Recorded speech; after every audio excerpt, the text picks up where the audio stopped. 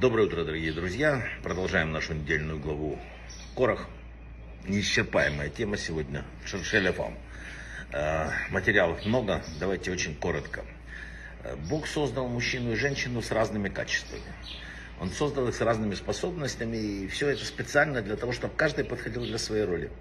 Мужчина представляет собой, так сказать, более добрую часть, так сказать, постоянно желает давать, которая иногда может быть нечетко определено, а порой и даже неуместно. Женщина представляет собой дин, суд. Это способность определять границы, когда, где, где это добро ограничивать и так далее. Мужчина связывает, кому мудрецы говорят, больше связан с солнцем, которое неизменно восходит и заходит каждый день без отклонений, курса. Это стабильность такая. Женщина подобна Луне, которая регулярно проходит через цикл перемены. Это символ изменчивости эмоций. Вообще, объективно говоря, мужчина и женщина это два существа с разных планет. Разные абсолютно люди. И для того, чтобы им сосуществовать вместе, это только Бог может создать такую систему, потому что в сути это невозможно.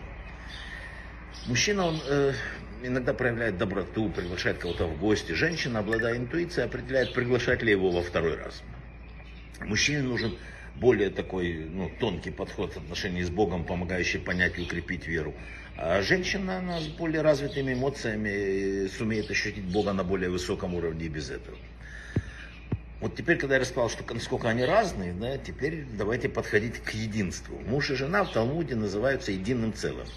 И объясняется это э, не только как единство семьи, так и так далее. Это еще и духовный такой корень имеется в виду. Написано, что за 40 дней до рождения на небе объявляют такой-то будет такой-то и так далее.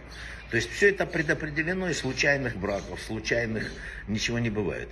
Э, задают такой интересный вопрос. Вот мне супруга, я уже рассказывал, ну, коротко очень, предопределена сверху, а я вот женился второй раз, там, как это быть?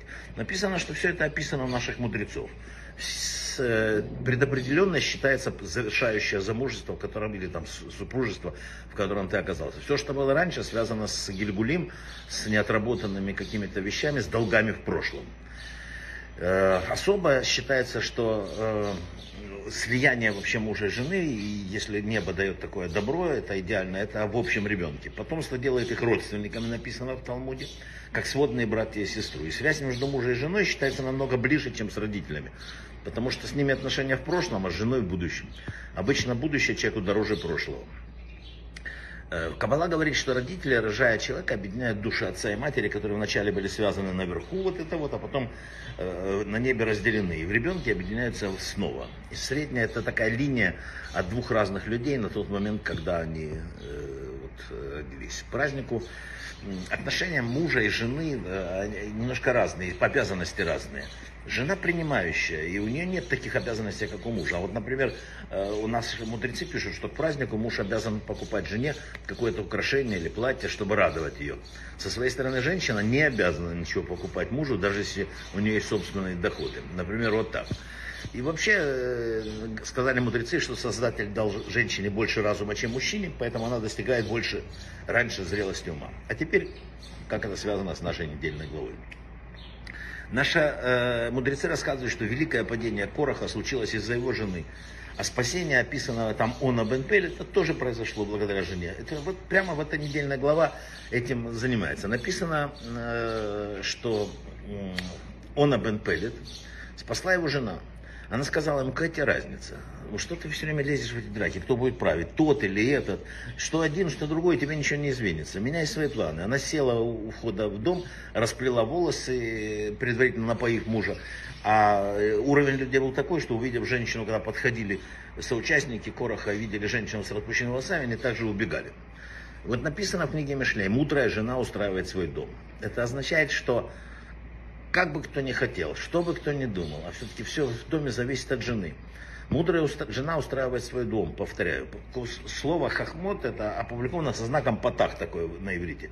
Потому что это не существительное. Мудрые женщины строят свой дом в том плане, что они существуют, эти дома, благодаря им. Разрушается он тоже благодаря в основном женщинам. Написано, что жена Короха все время подстрекала его, вот видишь, вот видишь и так далее. То есть все от женщины, хоть вверху, хоть внизу. Поэтому надо всегда помнить одну важную вещь. Супруг достается по решению Творца. Случайных браков не бывает. Кстати, как шутку в конце скажу. Сказали мудрецы, тот, у кого жена не очень хорошая, не увидит ада, генома.